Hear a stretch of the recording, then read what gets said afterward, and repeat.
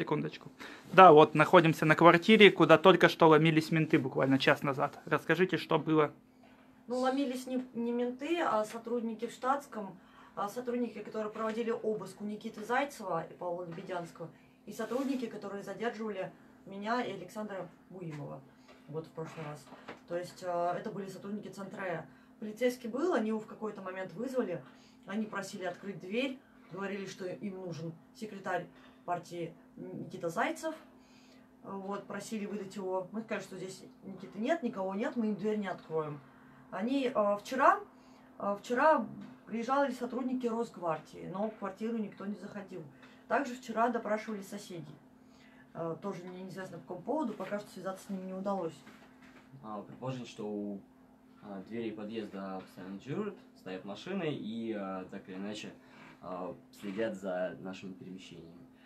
А, А что требовали полицейские сегодня? Ну, сегодня требовали Никиту Зайцева. На самом деле, вчера от Никиты Зайцева мне стало известно, что дело Алексея Климишина, по которому он проходит свидетелем, переквалифицировали а, в группу лиц. То есть теперь там может быть не один обвиняемый, а несколько. Соответственно, возможно то, что свидетели по этому делу станут обвиняемыми.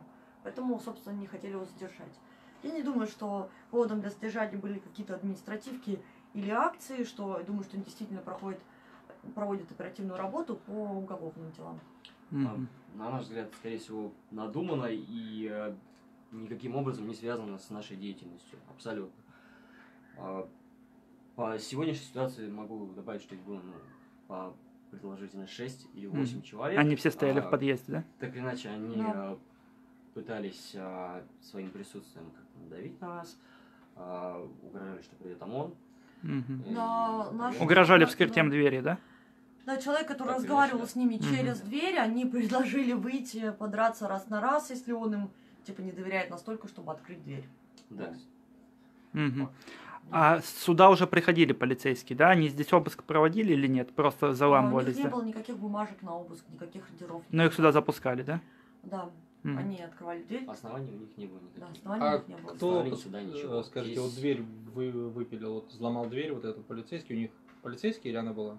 А нет, это там внешняя история. Давно было уже. Да. Мгм. Но вы ожидаете, что сегодня они еще могут прийти или нет? а, Предположительно, они могут э, подкараулить нас где-то в, на улице и встретить. Ну да. Потому что так им э, разговаривать не получилось с нами. Соответственно. Ну, в целом, со мной и с Александром уже пытались вести беседу. Со мной Александр с Марией Некрасовой пытались вести беседу.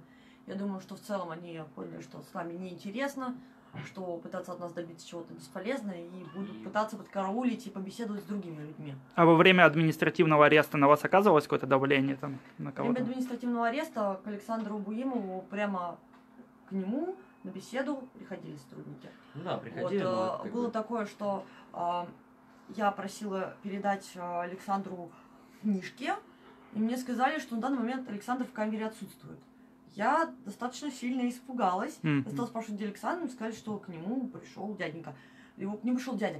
Я сказала, ну, а неужели Александр Буймов в Москве есть дядя?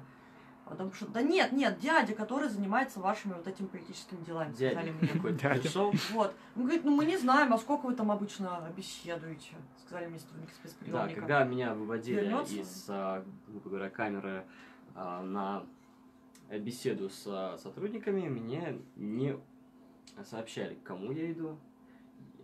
Говорили, придешь, увидишь.